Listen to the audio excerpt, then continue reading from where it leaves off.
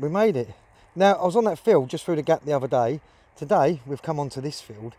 Now, we're not going to go at the very bottom there. Uh, we're going to stay at the very top here. Right down the bottom, there used to be an old footpath that used to run right up all the way to the gap that's just there. So we're going to stick around this top bit. We're going to have a little look. Been here a couple of minutes and we're on to our first target already. 56, 57. Nice strong signal there. We're running it in multi-frequency mode. We're going to change it no doubt through through the afternoon as we get on. Right, let's dig that out and we'll see what it is and I'll catch you in a minute.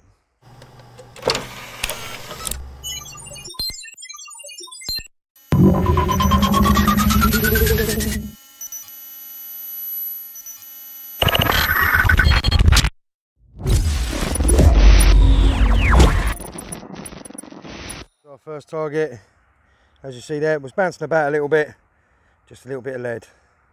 Right, let's carry on though, see what else we can't find. Right, onto a really nice signal here. We haven't really moved too far. We've had a few little bits of uh, junk. Absolutely lovely signal. Right, let's see what that is. Right, that's what it was, another lump of lead. Really deep though.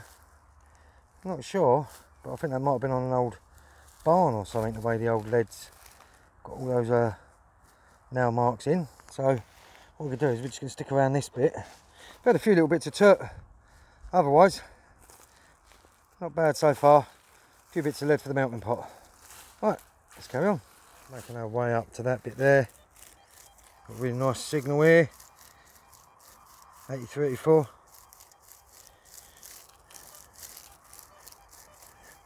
Absolutely lovely tone.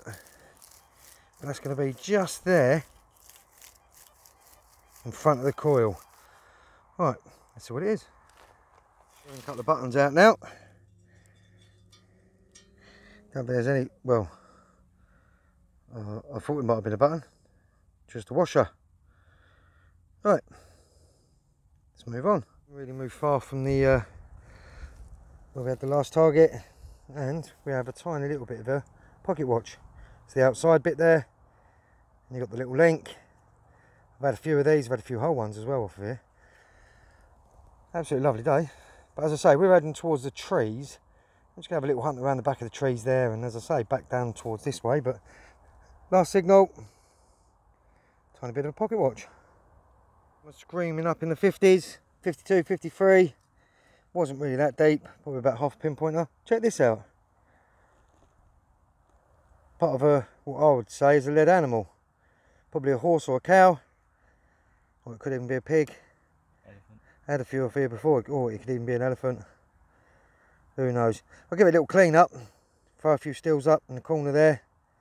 Otherwise see what else I can't find. I had much interest at the moment some bits of lead, well lots of bits of lead shall I say. 6263. Alright. Alright, that's what it was. Tiny little pewter spoon. Check that out. It's pretty cool that. Hey. I like finding little things like that. As you see there, it was reading up really high in the 60s there. And it wasn't really that deep at all. I think it was probably a couple of inches down, if that. That's what it was. Right, check this one out. At first thought it was part of a can. Look at that. Now it's only a little bit of brass or copper because you can see it through there. So it's definitely not silver, but check out the patterns on that. Stunning little bit that. Really, really light as well. But it's definitely got brass in there or, as I say, some sort of copper as a base metal. And it's probably just been dipped in um, silver. That'd have been a nice little decoration, that. Right, as I say, me and my boy's going to carry on walking up there towards the bush and uh, see what else we can't find on the way. But that was the last signal. Right, see you the next. This one was quite high up. It was reading up in the 73, 74. Check this out. I think that's a hat badge, a military hat badge. Just all folds over. I'm going to wait till I get back and then uh, I'll get one of my lads to uh, unbend it. it looks like a pin there as well. Oh, I hope it is. Oh. Right, I'm not going to try and open it up in case I snap it. Right, what we do is we give it a clean up, put a few stills up, but I think that's going to be a stunning little find. Right, let's carry on. See you the next. Right, on to our really nice signal here. 8384. Absolutely screaming signal. Right, let's dig that out. Right, that's what that is. Just a massive belt buckle. Look at that. We've got absolutely loads of these belt buckles at home. Probably about 90, something like that. Easy. That's just another belt buckle. Wicked. Size of that though. Right, let's carry on. And I'll see you at the next. Right, this one. Reading up at a 75. Really, really high signal. Wasn't really that deep and I can tell you exactly what that is. There's a little bit of metal on there and a wheel that runs through the middle. That's part of a chair leg. First thought it was a bell, but you can see the hole there. And there'd be another hole the other side. Metal bit would run through the middle and the, the wheel would move so you could have it underneath there. all right let's carry on. See else can't find.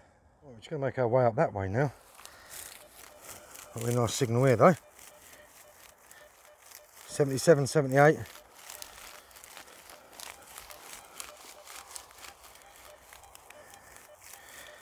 even though the ground's quite dry, signal's been quite good. All right, that's going to be right there at the front of the coil. Let's dig that out and see what it is, and I'll catch you in a minute. Best so far, but we're having a few little bits, and we just had a nice little bag seal. Hey, first ever bag seal I've had off this field. Looks like it's got a little lion on there. Yeah, we're going to give that a little clean up. See if there's anything on there. But that is absolutely stunning little finds these are. Right, we're going to carry on walking up that way, see what else we can't find, and hopefully find a few more of these. Right, let's carry on. Got a really nice signal here. Getting a lot of little tiny little bits at the moment. Nice 63, 64. It's got a really nice tone to it though. Right, let's dig that out. Yeah, that one was screaming up in the 60s, 63, 64, jumped around a slight bit. I'm not sure what that is. It looks like a uh, old salt lid. Looks like it's got loads of holes in the top there. Not sure if it's silver or not. It's quite heavy.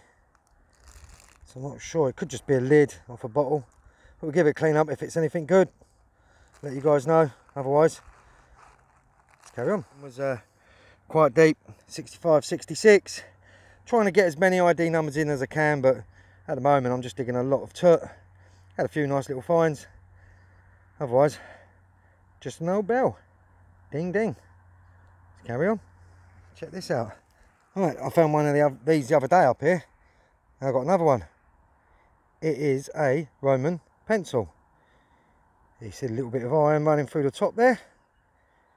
Maybe brass or copper, which would have run right through the middle of it. And then they would have etched letters. But that's what that is slowly making our way down, but we're getting a lot of signals, a, a lot of bits of tat. But as you know, you've got to dig them all. But that, as I say, is a Roman pencil. Wicked. Right, let's carry on. Check that out. Absolutely stunning little bit that is. I don't mind finding bullets. Quite a nice little find. Scream up really, really, really loud on the apex. I think it was about 73, 74. Right, the field looks absolutely lovely. Got some absolutely lovely uh, metal detectorists over there.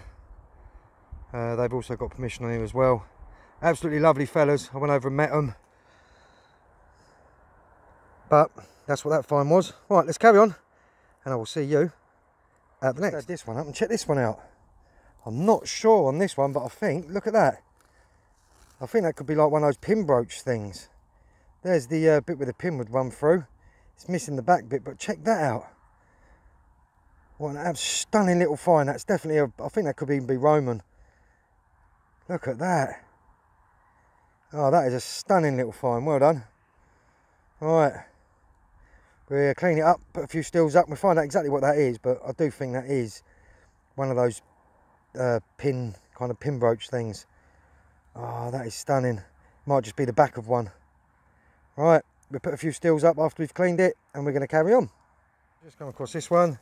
It's got, got a little uh, grunty sound to it, 54, 55. Not too sure, it's jumping slightly. Could be a bit of deep iron. We're going to dig it out and find out what, what it, it is. Giant great big doorknob. But check out the patterns on the back of that, that doorknob. Some kind of vinyl wood stuff. It's definitely wood, it's just you can see the iron running through the middle of it there. I love that. It's quite a nice little find that. Right, as I say, we're just moving our way on down there. We've been through this bit and then we've come back down to this field and we've got a doorknob. Wicked. Right, let's carry on. Stop for five. This was the last find we had. Just a big lump of lead. See where I've clipped it there with a spade. Right, over the last two days I've been using the uh, Reaper coil. What do I think of the Reaper coil? Now the Reaper coil is absolutely brilliant, especially for big fields. You get more of a, a coverage. A little bit deeper on full sensitivity than the uh, Double D Raider coil. I'm still slightly just trying to get used to, because I don't like using the pinpointer a lot on the machine, so I like to use the front of the coil. Still getting used to using the front of the bigger coil. Um, when you go over a target, I find that the um, when you're hitting the front of the coil, it's always sitting slightly back, so around about here. So I'm starting to dig slightly back from the edge of the coil. Otherwise, absolutely brilliant coil. And uh, yeah, as I say, we're going to stop and uh, we're going to make our way down there and see what else we can't find. Right, I'll see you then. One was quite deep and uh, it was literally just jumping all over the place. At first I thought it might have been a bit of iron because I mean it was really really that deep. And check this out. Nice little hat badge. And I can tell you now that looks like uh, it's going to be a really nice one. Still got the little pin marks there on the back. I'm going to give that a little clean up when I get home and I've put a few stills up but that is absolutely stunning. Right, let's carry on and I'll see you at the next. Starting to get a little bit dark now. Well, it's not really getting dark, but time is getting on. Moo tube. But it's not been too bad. As I say, I've just been walking towards the trees over there and then back down this way. The boys just sitting down, chilling out for a minute. And that's what that was. Moo tube. Oh, yes. Strange finding one of these in here. Check that out. What that is, is a weight. And in the middle of there, will be how much it weighs but that is an actual weight. It's not coin weight but that's a weight for weighing up uh, crops. There you go look. It's got a G there so it would have a number there. We give it a clean up so we can't get the number to come up. But that's exactly what that is. That's just like a weight for weighing up your uh, crops and things like that when it comes to selling them but that's a wicked little find. All right right got really nice. 53 54 solid could be a bit of lead. But you can see the stem's quite high, so the coil's just resting on it. Talking probably about half inch, probably a bit more than that. So, until we ploughs it this time next week, we're just gonna have to make do for now. There is small, there is shorter spots where the corn's a little bit shorter, but oh, as you can see there, since 50s. Right, let's dig that out. Now, know exactly what this is. This is a writer's block. Now if you look on the end there, if I can zoom in, see that right in there? Typewriter's block. I've had quite a few of these in my time. You're never going to get, I mean some of them are whole that I've got and you can uh, make out what it says on there. If you just stamp a little bit of ink on it and stamp it down. But I do like finding these. Stunning little bit that. But that's what it was. Right, let's carry on before it gets any darker. Definitely been some sort of occupation on here. I've had another, had another little uh, drawer handle or door handle. Stunning little bit. Don't mind finding these. Alright, probably one or two more holes left and that'll probably be it for the day. Then we can start making our way over there. Because It's starting to get quite dark now. But stunning little find. Right, let's carry on. what this is. That is the whole back part of a probably about early 1900s, late 1800s pocket watch. Tell by the three clip marks there. Wicked. Alright, not long left now. Let's carry on. This is our last signal of the day, guys. Starting to get a little bit darkish now. Can't really see it on the camera. I just had all this out of that one hole. I'm not sure if there's anything else in there. We'll double check, but no idea what that could have been. Got little knobs on it. Some little knobs, or no idea what that could have been. Some little bits of turt. Right, guys, we're going to make our way over there because that's where the entrance bit is, but still so much more to do on this field. Absolutely loads. So we're going to come back up here in the next few days again because there is more stuff to be found. Okay, we've not had much stuff today. A few little military uh, hat badges, but I tell you what, they're always nice to find the old hat badges. But that's the last signal of the day. I'm Diggers Den Tyson Fury. This is the Field of Dreams, and I will see you Get out for a sunset. Look how pink it's gone. I mean, literally, the whole field's just gone pink. I've never seen it like that before. But check that out. That is quite amazing, that. The actual field's just, the whole field's just turned pink. Look at that. Absolutely amazing. Lovely, lovely sunset. It's been quite warm down in Kent lately. Farmer's just been uh, ploughing this field. I mean, cropping it. He's getting ready to plough it in the next few days absolutely stunning.